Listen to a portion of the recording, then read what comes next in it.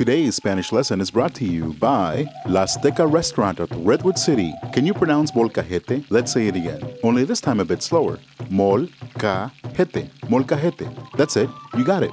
When it comes to authentic Mexican cuisine, move beyond fajitas and enter the realm once reserved for the gods of the Aztecs. It's meant to serve two, but it's okay if you devour it by yourself. After all, how can you resist the constant sizzle of succulent shrimp, flavor intense mouth-watering chicken, and the most tender steak? Practice your Spanish over the simmer infusing of fresh peppers, onions, and our secret recipe cheese. When it comes to authentic Mexican food, go traditional and be an Aztec.